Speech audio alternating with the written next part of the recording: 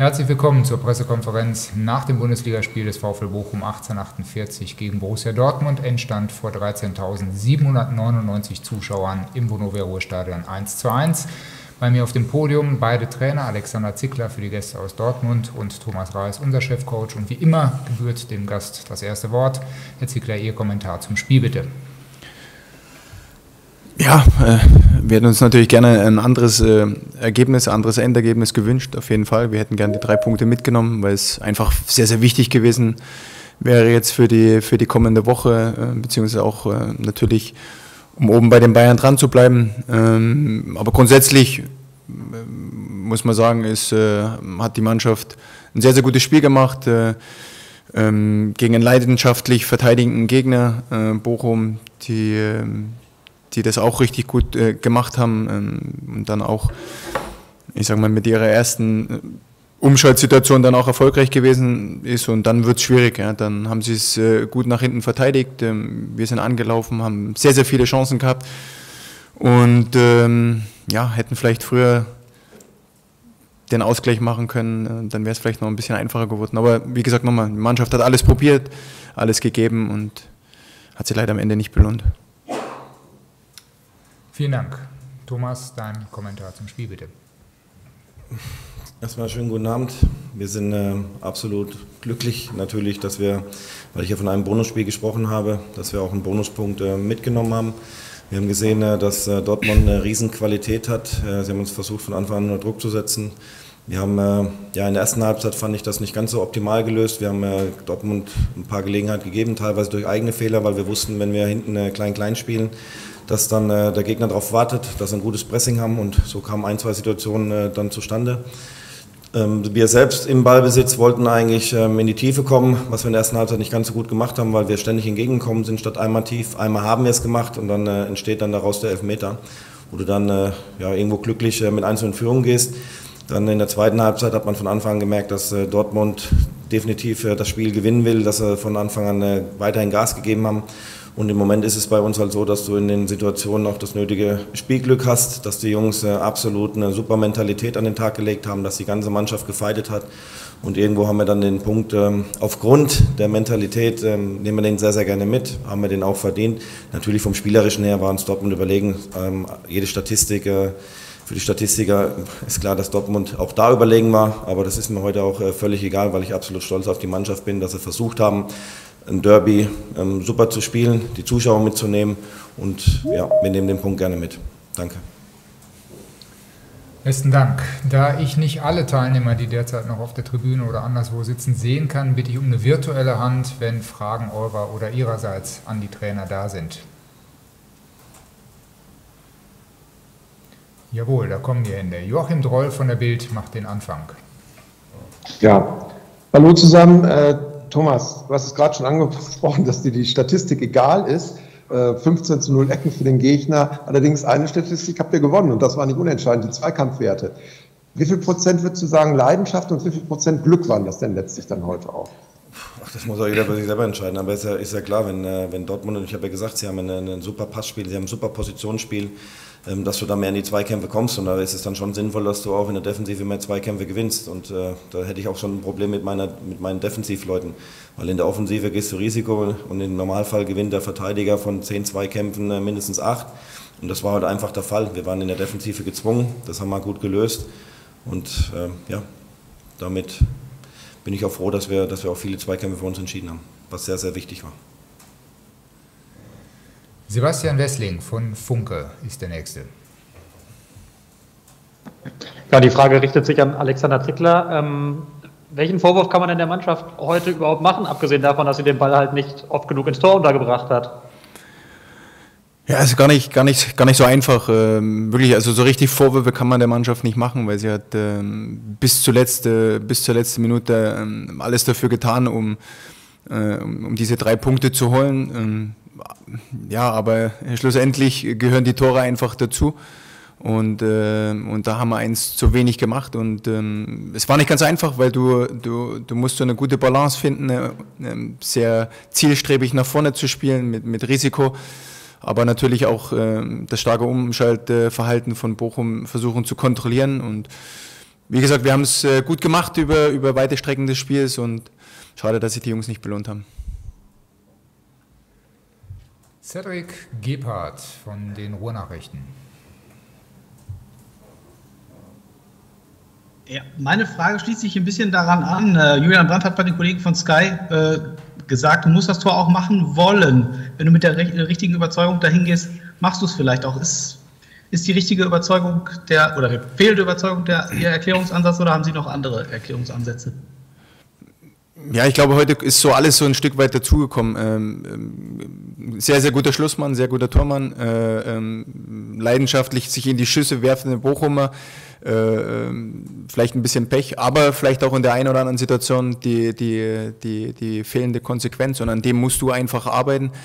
Ähm, gierig zu sein und dann äh, vielleicht auch mal so ein, so ein Tor wirklich mit absolutem Willen zu erzwingen. Kilian Gaffrey von der Bild. Auch eine Frage an Alexander Zickler zur Arbeitsteilung heute an der Seitenlinie. Es gab immer wieder den Wechsel mit René Maric. Äh, warum? Also war das spontan oder war das vorher so besprochen? Und wie lief die Kommunikation mit Marco Rose? Ja, wir sind natürlich äh, ein, ein, Trainerteam, was zusammen vorbereitet und, und zusammen auch so, ein, so was äh, durchzieht. Ähm, Marco und, und wir als Team ähm, haben uns gut vorbereitet auf den, auf den Gegner. Ähm, schon, sind schon viele Dinge, Dinge, Dinge durchgegangen vor dem Spiel. Ähm, und auch bis zu dem Zeitpunkt, wo Marco noch durfte, hat er ähm, damit eingewirkt. Und ähm, danach haben wir uns das alles so ein bisschen geteilt. Äh, und ich glaube, wir sind da ganz gut damit gefahren. Und ja, jetzt kommt Marco halt dann irgendwann wieder dazu. Stefan Döring, Rheinische Post. Eine Frage an Herrn Reis. Herr Reis, ähm, 20 Punkte nach 15 Spieltagen, jetzt äh, noch zwei Spiele bis Weihnachten, beziehungsweise in diesem Jahr generell. Was ziehen Sie so für ein Zwischenfazit bisher und ja, was erhoffen Sie sich von den beiden Partien jetzt gegen Bielefeld und Union? Wenn einer vor der Saison gesagt hätte, wir haben äh, weitere Möglichkeiten unter Punktepolster ähm, auszubauen, dass du nach 15 Spielen äh, mit 20 Punkten dasteht. Ich weiß nicht, wer darauf ähm, gewettet hätte.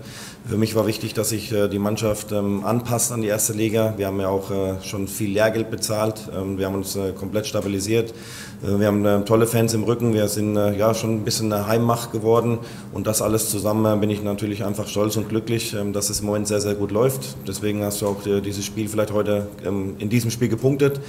Äh, weil halt im Moment auch so das Glück auf deiner Seite ist und wir wollen schauen, dass wir die nächsten zwei Spiele noch nutzen, um wie gesagt noch ein paar Punkte zu sammeln. Aber ich glaube, man kann jetzt schon von einer gelungenen Bundesliga-Rückkehr sprechen. Aber die 20 Punkte werden definitiv nicht reichen und deswegen werden wir weiter Gas geben. Cedric Gebhardt erneut.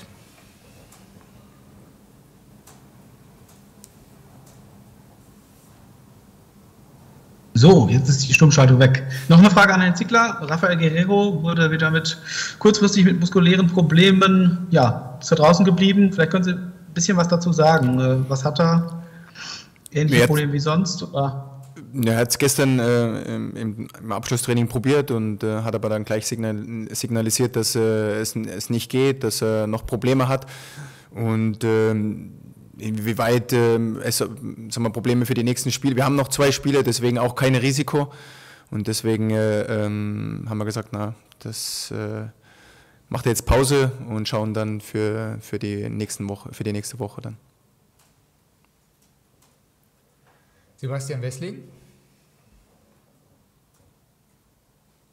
Ja, ebenfalls mit einer Frage noch einmal an Alexander Zeckler. Ähm, es hat sich im Spiel so, so ein bisschen, war, war, so eine leichte Asymmetrie zu sehen. Ähm, äh, das Marius Wolf hat, die, hat seine linke Seite sehr konsequent gehalten. Auf der rechten Seite, da waren irgendwie sehr, sehr viele Innen unterwegs und die hat eigentlich Thomas Meunier über weite Teile allein beackert. War das, war das so geplant oder hat sich das durch den Spielverlauf so ergeben?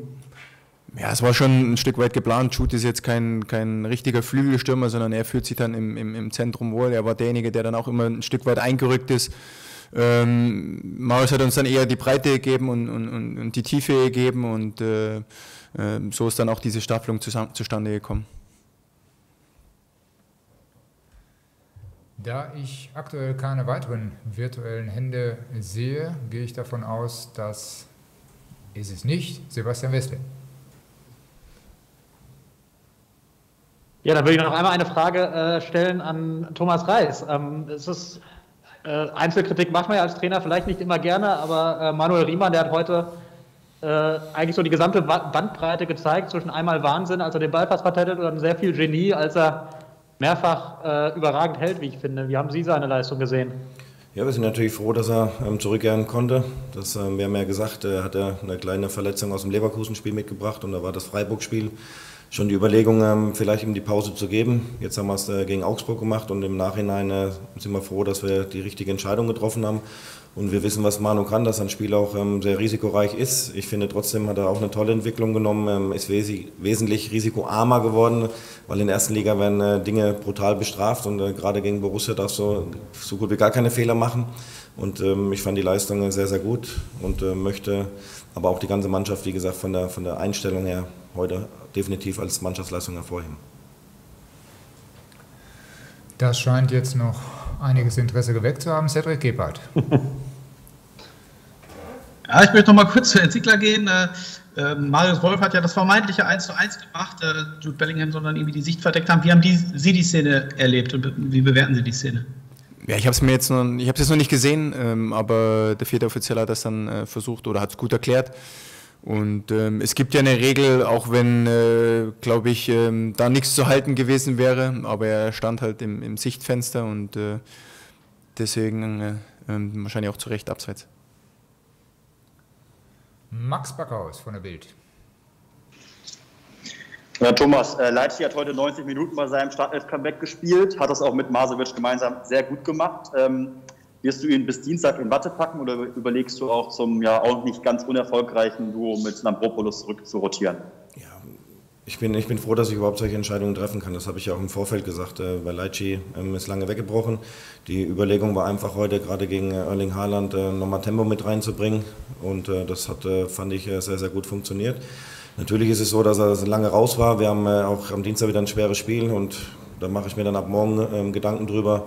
Aber es würde ähm, nichts dagegen sprechen, dass er das nochmal schafft. Aber wir haben mit Vasi auch einen, einen, Spieler, der ihn jederzeit ersetzen kann. Und da mache ich mir, wie ich gerade gesagt habe, ab morgen Gedanken drüber. Die letzte Frage kommt von Stefan Döring, Rheinische Post. Herr Reitz, ich möchte gerne noch mal dran anknüpfen. Sie haben gerade gesagt, äh, die Bundesliga-Rückkehr wäre bisher gelungen. 20 Punkten ist man noch nicht am Ende. Der VfL ja, ist so ein bisschen die Überraschungsmannschaft der dieser Saison. Spätestens nach dem Spiel haben Sie da Angst, dass es mit der Überraschung des VfL ein bisschen vorbei ist und äh, ja die Rückrunde oder die nächsten Spiele durchaus schwerer werden könnten, weil sich die Gegner inzwischen darauf einstellen, wie sie spielen? Ja, das ist ja immer ähm, so eine Sache. Also ich äh, finde trotzdem, dass äh, wir jetzt noch zwei Spiele haben, wo wir natürlich noch Punkte sammeln wollen.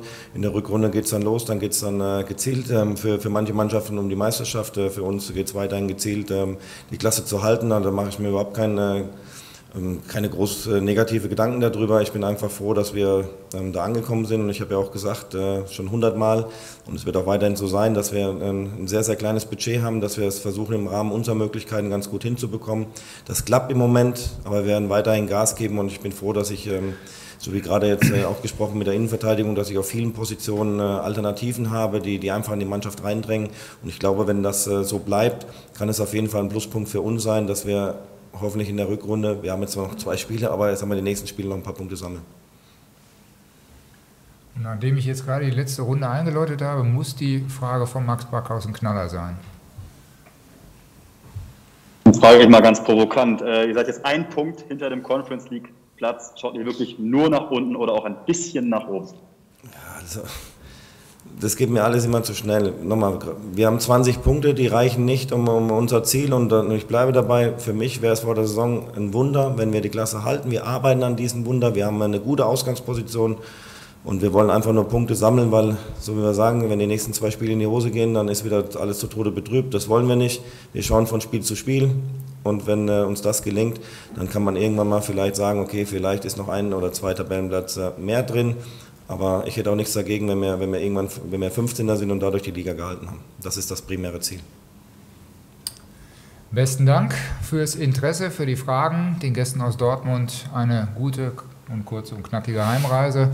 Zwei Spiele stehen noch an. Nächste Woche in Bielefeld und in sieben Tagen sehen wir uns dann hier schon wieder, wenn Union Berlin kommt. Schönes Wochenende.